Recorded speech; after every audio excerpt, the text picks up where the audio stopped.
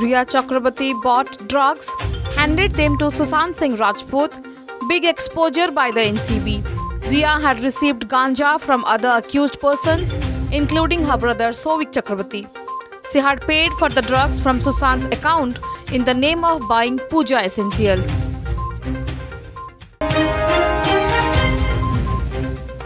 Question hour runs smoothly in Odisha Assembly. Concerned ministers are replying questions put by MLAs. Reports from various standing committees are to be presented in the House today.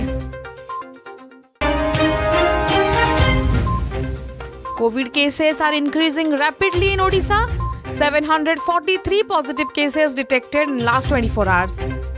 Khorda district tops the list with 303 new positive cases. In Cuttack, 115 cases were detected during the same period of time.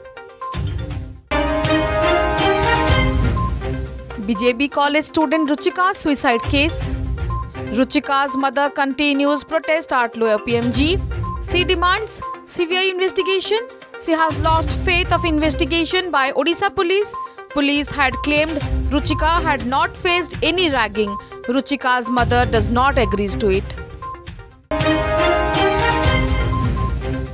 Heavy rains drench parts of Odisha. Low pressure and monsoon winds bring rains to most part of the state. 16 districts under yellow warning. Heavy rain causes havoc in South Odisha. Several rivers in spate.